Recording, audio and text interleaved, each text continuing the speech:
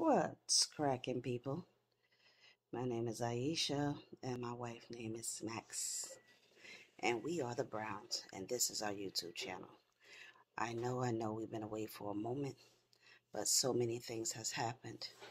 I just wanted to jump in really quickly while my wife is in there making dinner and let y'all know that we miss you guys.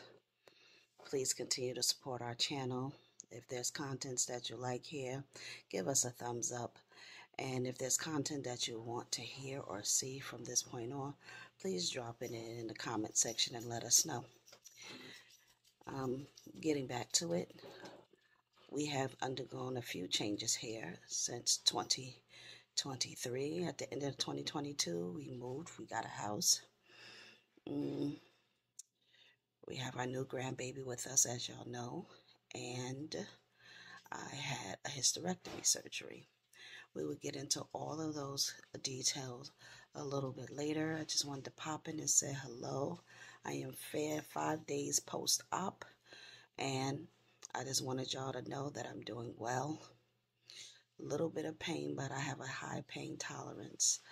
Um, nighttime is when it hurts the most. And I'll give you some more details about my hysterectomy and my journey to the hysterectomy surgery. All right, you guys. Looking forward to seeing y'all soon. As you see, I am bedbound. And I will talk to you soon. All right. Thank you for tuning in. I'm out.